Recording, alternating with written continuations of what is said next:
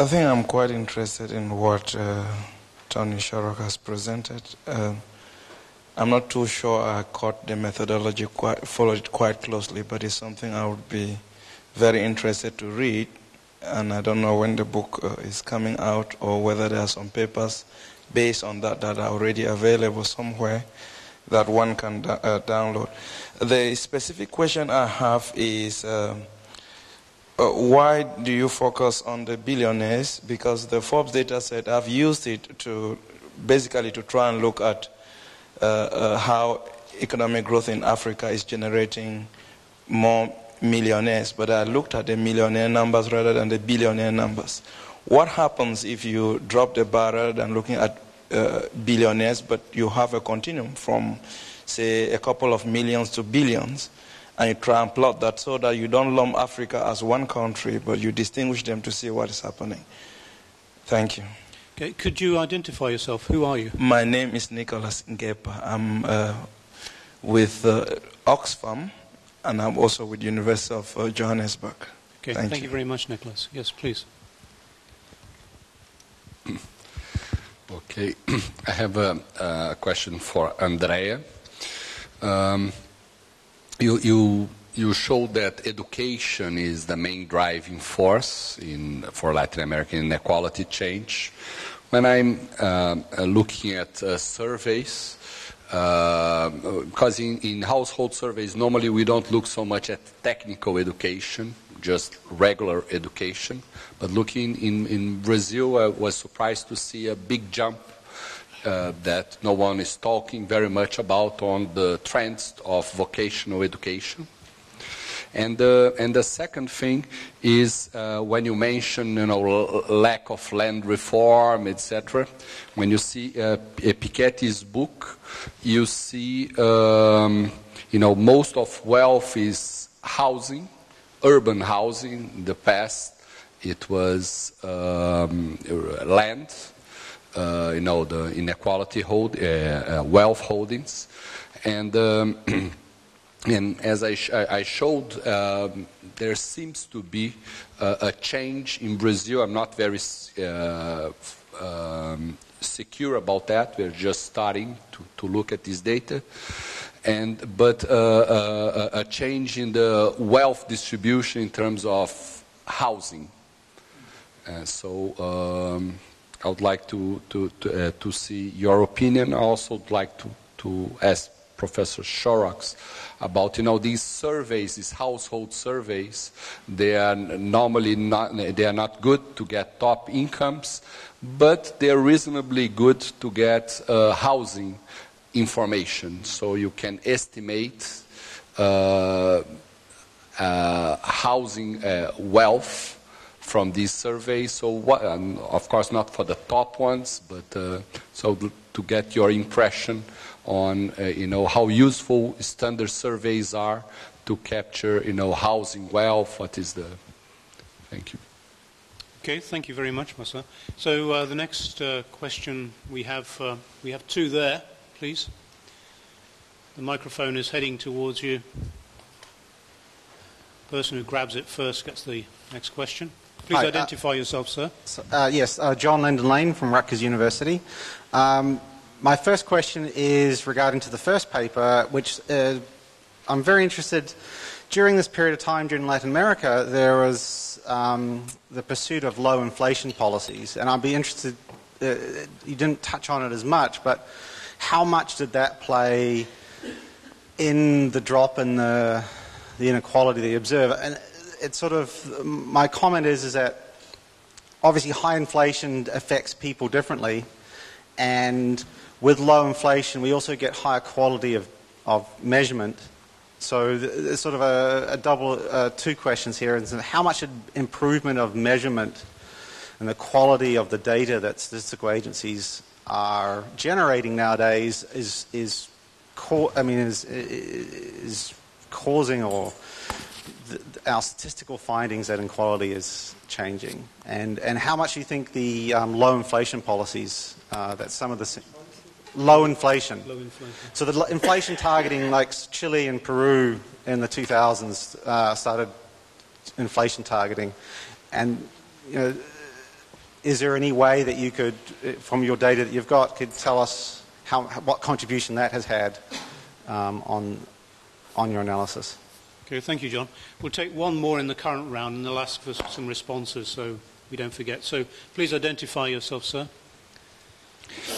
Um, my name is Jose Maria Larru and came from uh, Universidad CEU San Pablo in Spain. My question is for Andrea Cornia. Uh, it's just if you could expand a little bit more the cases of Honduras and Costa Rica, because I think that they're both uh, a contra egalitarian trend uh, recently. So what happened in more more wider in, in Central America, this is not following the, the example of, of the Cono Sur. Thank you. Okay, thank you very much. We'll come back for another round um, in a minute or two. So, gentlemen, questions on uh, Africa's billionaires versus millionaires, the uh, issue of land reform and housing wealth in uh, Latin America, uh, the uh, validity or worth of household surveys or not. Um, the consequences of low inflation and the drop inflation for Latin American inequality, and Honduras and Costa Rica, are they outliers, and uh, what do we know? So, uh, Andrea, please. Now, uh, the data which we have used to measure the educational improvements are general enrollment in secondary education. And that, now I think that uh, uh, you raise an important feature because including in Europe, there is a big debate whether there should be a general secondary education or vocational secondary education. Now, in Italy, for instance, uh, there is a drive to, towards the reintroduction of vocational education in the secondary, which is what Germany does on a bigger scale than anybody else. So, uh, but I, I, don't know. I mean, I, I, I, haven't, I, haven't, really tried to do that. My guess would be that um, with the, the very rapid uh, technological change, which is still uh, ongoing, uh, and with mm, more limited progress in tertiary education, I mean, positive but gradual progress in tertiary education, uh, going back to some, I mean, at least for some of the po- students' population, to vocational education would have a positive effect. And I come from Bologna, a city where the most famous school was not the university, which is the oldest in Europe, but it was a mechanical school which is, uh, was not able to graduate the students because they would go away, they would be recruited instantaneously. And, um, and then the expansion of the educational system has gone in the past towards general education. So everybody has to go to the lycée, something like that. You know? Now, the land versus urban housing. I think that uh, is a good point. I mean, I, I'm familiar with the, the, wealth surveys done by Jim Davies, Tony Brandolini, and all that. And in fact, I was struck myself by seeing that 70, something like 67% of the wealth is represented by housing. So, and so the argument would be, well, land matters less because uh, the, in the total uh, uh, amount of wealth. Um, so let, let them houses, doesn't matter if we give them land. That probably for the urban population would be okay. But for the rural population, I don't know. So if I go to uh, Paraguay, uh, Paraguay, there is a major issue of, of land with actually with all these uh, bad brasiguayos uh, that they go in and then uh, occupy manu militari the land to produce soja for export, you know. And I think that Lugo tried to, to redistribute the land, but did not have enough political muscle to do it. And I guess that uh, President Lula was become, at least in Europe, an icon. It's like Virgin Mary, uh, Lula, and then now also Pope Francis, you know. So uh, he, uh, in a way, apparently uh, probably wanted, I mean, I don't know, I don't know what went through his brain. But I remember well that when he was campaigning, he had uh, promised to give land titles to now, of course, if you, many people, they also say, well, okay, anyhow, Brazil is urbanizing, and so, so it's, it's, becoming less of an issue. But, I mean, if you go to Guatemala, uh, uh, Honduras, uh, many of these countries, uh, a nice piece of land reform would be quite useful. Now, the, the issue of inflation, I think, is a very good point. And uh, inflation, we, uh, basically, inflation has been stabilized in the 90s, in the 80s and 90s. So, and of course, if you want to stabilize inflation, normally if you follow the standard IMF package, you basically repress the economy. You, you, you must adopt contractionary measures. And that, of course, are, on, in a way, they worsen inequality. So one could say, well, you know, the, the Washington Consensus did the dirty job of reducing inflation and balancing the books, and then let the others now do the good things. Now, during the 2000, inflation has remained pretty low, now with the exception of Venezuela. And uh, uh, during, since 2010, Argentina, when uh, the country, basically the National Statistical Institute has been uh, uh, uh, taken by the government and producing fake data. so the rate of inflation in Argentina is about 30%, and the government continued to say it was 10%. Now, if you want to reduce inflation, if you don't use uh, administrative method, which may be useful uh, sometimes or not, basically you have to use uh, contractionary monetary policies or contractionary fiscal policies, which will worsen inflation, which will worsen inequality. So now we tried econometrically, it doesn't come out anything significant. Now, the improvement of the data. Now, Latin America, contrary to Africa, for instance, because now I'm studying these problems in Africa, has a very good data set. So the CEDLAS, uh, the work done by Leonardo Gasparini and Guillermo Cruces uh, in uh, Universidad de La Plata in Argentina, is really to be recommended. They took, they went back. CEPAL has done a lot of good work as well, but I think that what the, uh, the, La Plata people did, they took the surveys and they applied the same procedures for imputation. So the, you know, and I think that this uh, difference in procedures can explain up to two, three, four points in Gini. So if they use the same methodology, uh, then we have uh, reasonably good data from 1990 onwards. So I don't think that uh, there is any uh, problem with uh, that concerning the service, except, except for concerning financial wealth. Now with an open capital account, if you are a rich Brazilian, you can export all the money you want. Probably you go to to the Bahamas, no, to what? To the Virgin Islands, and uh, and that is the real issue now. I think that uh, the issue of international taxation. Now, finally, uh, Central America. Central America has been doing, on average, less well. Now, and Costa Rica, which was like the icon of Central America, was like the good country. Uh, people, they, uh, even this morning, Amartya Sen mentioned Costa Rica. No? Uh, but Costa Rica is one of the few countries in, in, Latin America which had an increase in income inequality. And it also had a, a shift in political regime towards uh, the center right, toward a more conservative regime. And I think that that is not the problem, but the problem is that, uh, I mean, the economy is moving towards manufacturing, and so, uh, so perhaps uh, the uh, Kuznets model here applies. You know.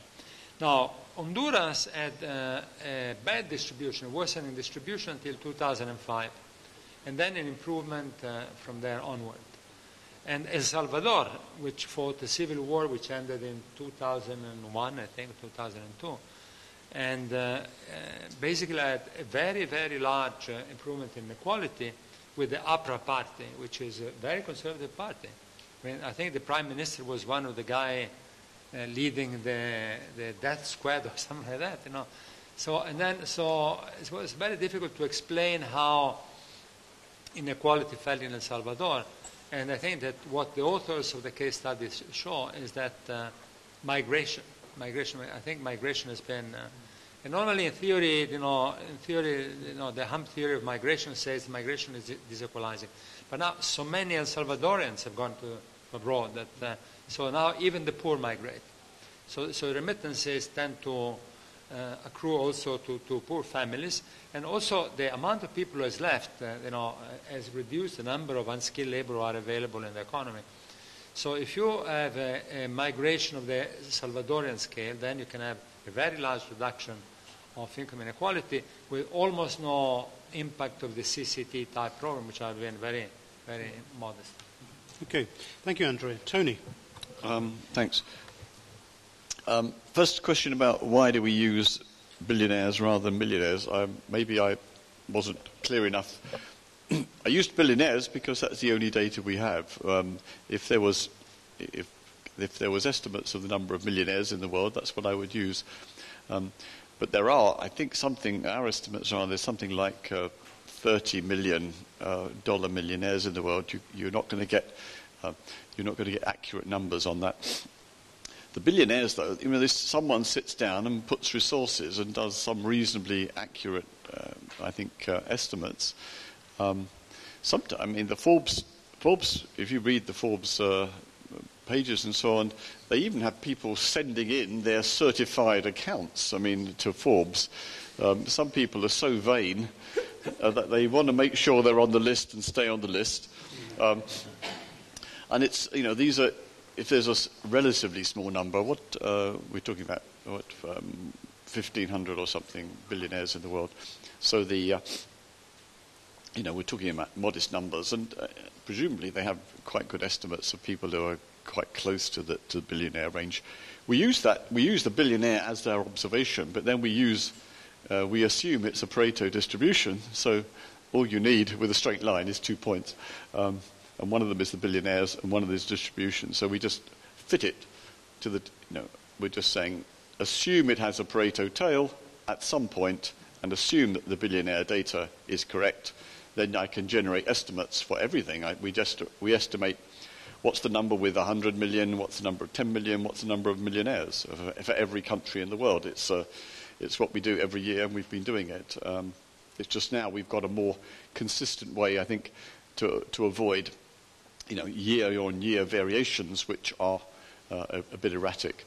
I also have to say, you know, we, we generate th- those numbers. We also generate now the median wealth in each country in the world uh, back to the year 2000 in, in, a sort of comparable way. So uh, obviously for African countries, uh, there's very few that have billionaires, but quite a few, pretty well all of them, are going to have some millionaires, and we will give those numbers. Um, clearly, um, it's the countries which have more, uh, where they have better data. When you get to a point where you've got no billionaires, you've got no uh, wealth distribution, you've got no wealth data, um, you know, you're, you're, limited in what confidence you can have in the numbers, but we try our best to get the best estimate based on, on, on what we have, the information we have available. The second question about housing, I think it's, it's an interesting one.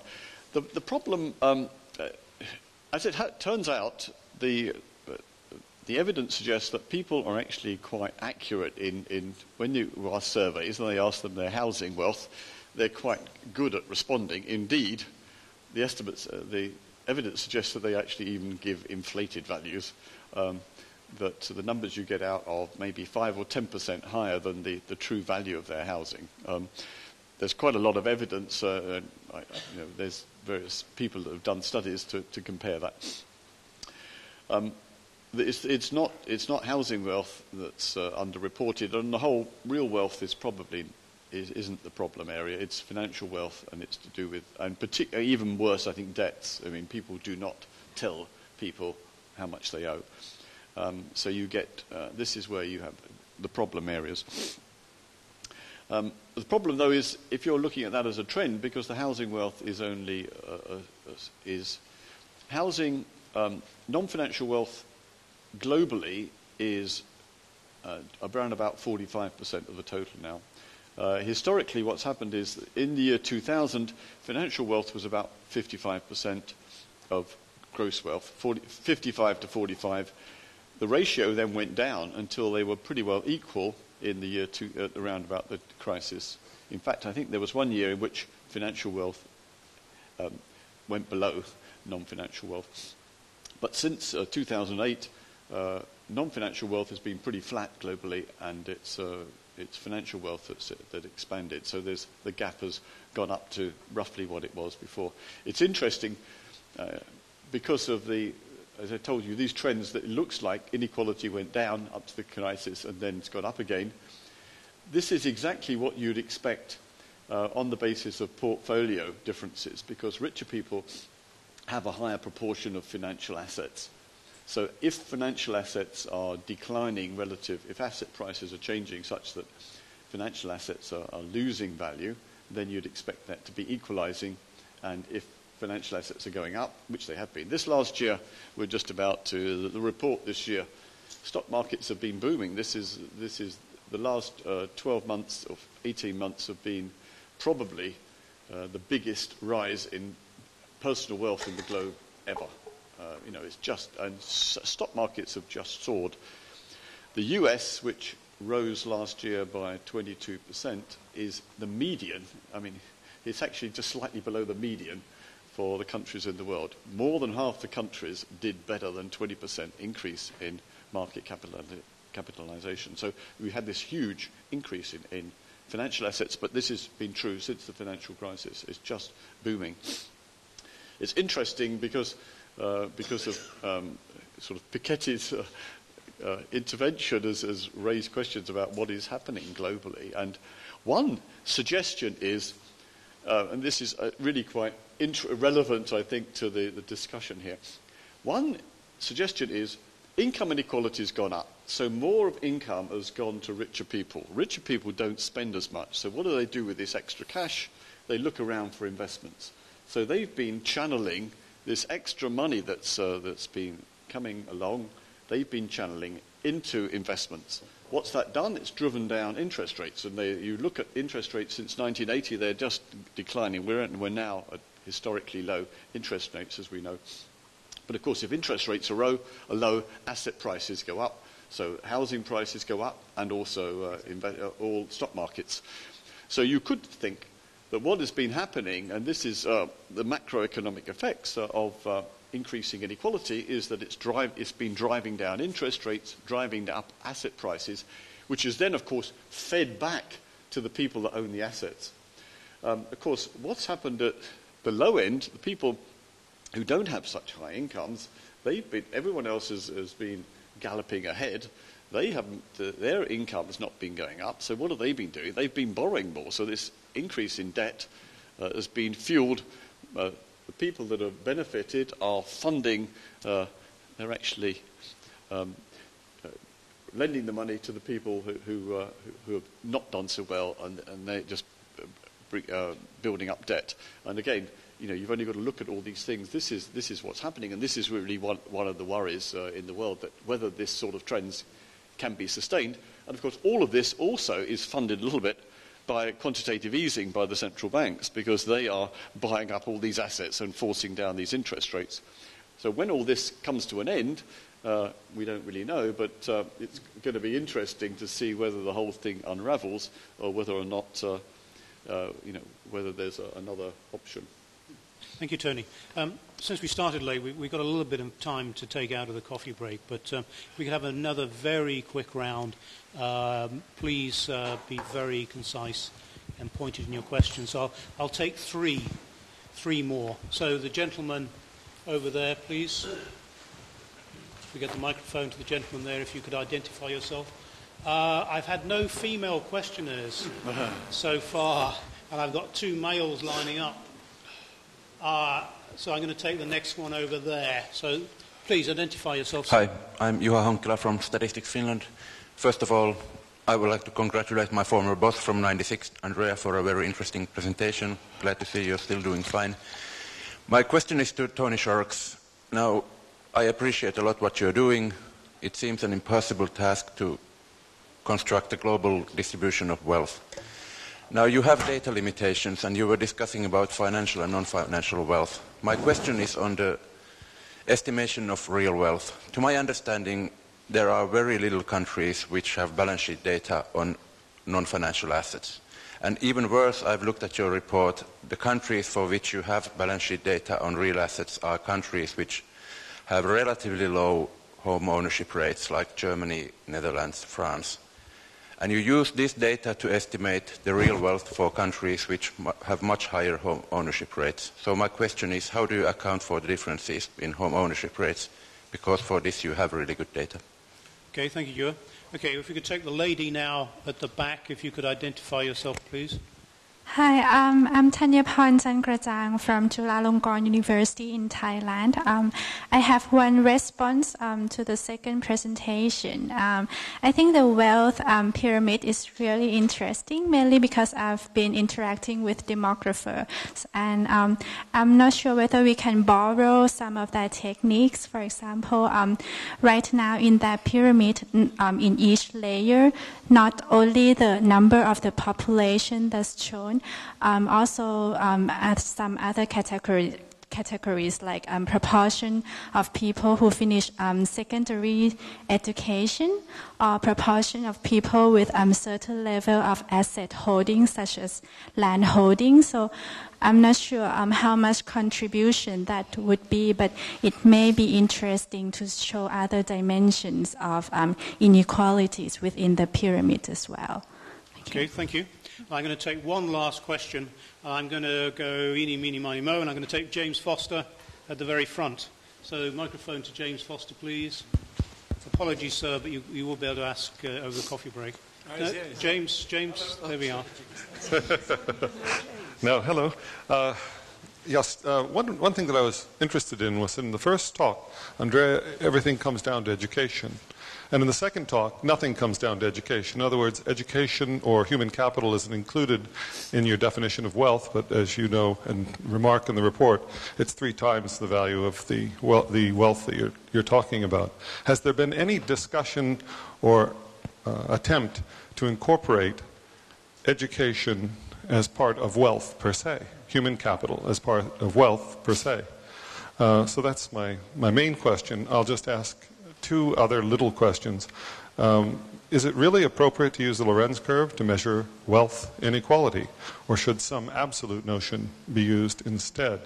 So that's just one of my measurement questions. I've been thinking about that for a long time, that wealth is different than inequality being stock versus flow, lots of other things. Um, yes, and zeros are there as well, and negatives like crazy. So these are, are really big problems. Um, and then finally, just in terms of education, you were using schooling, schooling clearly for your discussion of education inequality. Uh, is there anything on the front of, of in, introducing quality into those numbers? Okay, thank Cheers, you. thanks. I'm actually going to sneak the gentleman there back in because he nearly got the microphone, so he deserves to ask the question. Please identify yourself. Thank you very much. My name is uh, Yan Wu from Australia. Uh, just very briefly comment on the billionaire number. I think the a, this number is very small in each country, so if someone becomes a bankrupt, then uh, it has created a lot of distortion. B, those guys are also very mobile. They can change their nationality anytime. Uh, I'm thinking whether it's better to look at the other side of the uh, distribution, say the, the poor is the 10% or 5% instead of the richest the 1%. The number of the, say, five, the poor is the 5% in each country. Thank you. Okay, thank you. Okay, so back to the panel for some very brief uh, responses. First, um, let's start with Tony first. Tony? Thank you. Um, okay, let's just. Um, the first question about real assets and whether, whether there's a bias there to countries which have low home ownership rates. I'm not quite sure how. I don't think we'd really uh, bias that, and I'm not quite sure. Um, I, I, think we might think about that question rather than. Uh, uh, it's something which we do throw in other variables, so there's a sense in which we may pick that up. Um, we are all the time, I think, trying to revise our numbers and see whether we can improve, but uh, you know, we are at least limited by the fact uh, by what uh, data is available. So um, I'm, I'm, sure in 20 years' time people will be doing much better than we are, but in the, at the meantime we'll, we'll do what we can and we'll just sort of keep adjusting, but we'll think about that and see whether we can uh, add some other variables in, I think, to uh, see what uh, difference it makes.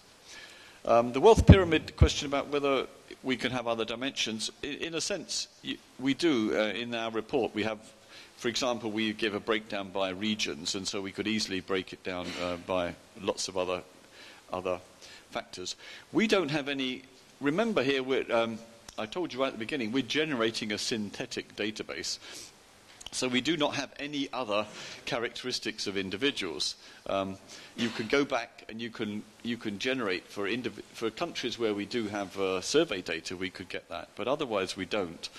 Um, so we're a bit limited there. Uh, of course, if you want to take a country which uh, and go and process their wealth data, then you would be able to do other things as they as they do. Um, so um, I'm not sure. We don't. If we had other dimensions, uh, what we'd like more than anything, I think, is age, um, because we don't. We we just have. Uh, uh, no information other than we, we're just generating what we think is a number and we, we don't even break that down by age. But we would like to do it by age. We'd probably like to do it by gender. Uh, and then we might get on to things like education level, but that's a, a long way ahead. Um, about uh, James's question about human capital, this is this always comes up really. I mean, how you define ca- wealth. Um, if you start to sort of add in human capital, you get something which is almost a sort of um, annuitized version of income. Um, and so I think there is an advantage for keeping the things separately. The usual definition is something that's marketable. Um, the, quest- the, questions about definition are tricky, and often the, the, trickiest question is to do with what you do about pension wealth. Um, and because there's different sorts of pension wealth, there's, there's uh, funded pension, state pensions versus private pensions, and um, so there's that is a really kind of complex area. I, you know, if you can, if you like, add in. We don't. You can add in these other things, but you end of the day, you say, is that really helping you understand the world? Um, on the whole, I think people do um, have an interest in the wealth of people, what their assets are, what they're doing with it, um, how they've made their wealth, and uh, that is what we try to respond to. Um, as James also mentioned, though, that the wealth inequality is interesting because we can have negative numbers, and in fact, we do get quite a few negative numbers, and indeed, negative numbers are growing. Um, more countries are having negative numbers, and part of that is there's lots of debts at the bottom, payday loans, student debts are getting enormous in lots of countries. Um, uh, and it, in the, the, one of the problem countries we've had is Denmark because they have 30% of their population has negative wealth. And indeed, if you look at the Lorenz curve, it doesn't actually go above, it doesn't go above the x-axis until you get into the 60th or 70th percentile and it gives you a Gini more than 100. At least we, we did have. Um, that was partly our processing, but if you look at the report last year, you'll find that Denmark has a Gini of 105 or something. And we get people writing to us all the time saying, it can't be right. The Gini, you know, is between 0 and 100. Of course, that is true we're not using the Lorenz curve anymore. I'm just, I've just told you. so there's a sense in which uh, moving to this sort of diagram in which we're plotting, uh, we're plotting this curve is is much more along the lines that you're suggesting. Um, um, if you wanted to keep it in terms of wealth rather than wealth relative to the mean at the bottom, then you know you'll be able to plot what's happening over time and seeing wh- how the curve is shifting. But if you're interested in analysing inequality and inequality trends and trying to, let's say, combine, uh, combine the use the Forbes type top-tailed information for different years, then I think um, I would recommend that one goes ahead in the way that I've um, proposed. Um, thank you. Uh, just the, uh, the last question yeah. was about uh, billionaires. Yes, there's a small number. There, uh, again, we, we don't, uh, we're not interested just in billionaires. I'm just using it as a, as a point, as a sample point. Um, it's used as saying we're treating it as, as if it's accurate. It is true that, uh, you know, that people can move around. On the whole, we use the Forbes, the Forbes definition is, is on their, um, what, what their nationality is, not where they're resident. So that if, if people move to a different country, the Forbes data doesn't treat Abramovich as a UK billionaire. The Sunday Times does, uh, in, in, crude terms. Um, and we, we're taking the uh, citizenship definition largely because that seems to be more relevant in terms of if we're using that as a predictor of how, you know, what the wealth is in that country, uh, the few people at the top who happen to move to another country, that's, you know, they made their money in, wealth in, in Russia. That's where, you know, the other big wealth holders are like to be. Some of them will have moved, that's true, but uh, it, we, I think the, uh, it's, it's a big problem for Russia. It's a big problem for um, India. I think there's, a, there's quite a few uh, transient uh, Indians. Um, uh, and I think probably will be, you know, I can, I can imagine it being a problem for other countries as well in the future. So this issue about, uh, as I mentioned, is one which I think uh, will have to be addressed in the future. Okay, thank you, Tony. So, uh, Andrea, any brief responses before Yeah. we break for coffee? Yes, I think that, uh, I mean, what, what we, oh, sorry, it is on? No, it's not like that, okay.